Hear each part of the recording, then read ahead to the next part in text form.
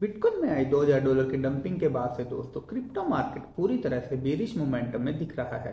Overall अगस्त month की बात करें तो दोस्तों बिटकॉइन का प्राइस टोटल 11 परसेंट तक गिर चुका है। बट एक चीज़ यहाँ पर नोटिस करने वाली है दोस्तों 22 अगस्त को बिटकॉइन ने जो अपना लो लगाया था पच्चीस डॉलर के राउंड, उसको अभी तक बिटकॉइन ने टच नहीं किया है। कल नाइट में एक बार फिर से ट्राई किया था उसको टच करने की। बट हमें थोड़ी सी रिकवरी देखने को मिली है बिटकॉइन के प्राइस में। ग्रे स्केल केस को लेकर जो हाइप बना था दोस्तों, उसकी वजह से हमें 2000 डॉलर की पंपिंग देखने को मिली थी बिटकॉइन में। बट दो दिन बाद ही फिर से बिटकॉइन एटीएफ को लेकर एक डिसअपॉइंटेड न्यूज़ हमें देखने को मिली, जिसकी वजह से बिटकॉइन में फिर से 2000 डॉलर की डंपिंग हमें देखने को मिली।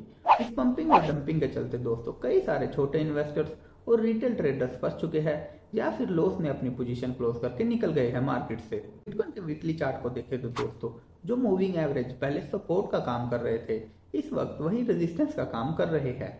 इसके साथ ही आर एस इंडिकेटर पर हमें एक असेंडिंग ट्रेंड लाइन देखने को मिल रही है और इस ट्रेंड लाइन के ब्रेक होने का मतलब है बिटकॉइन में और ज़्यादा डंपिंग वैसे भी बिटकॉइन के चार्ट को देखते हुए लग रहा है, पच्चीस हज़ार का जो लेवल है, आज नहीं तो कल ज़रूर ब्रेक हो जाएगा। वैसे भी सितंबर का जो मंथ है दोस्तों, वो बिटकॉइन के लिए कभी भी अच्छा नहीं रहा है।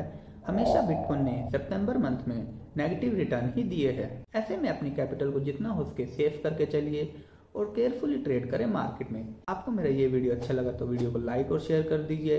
एंड लास्ट हमारे चैनल को सब्सक्राइब करना ना भूलें। थैंक यू जय हिंद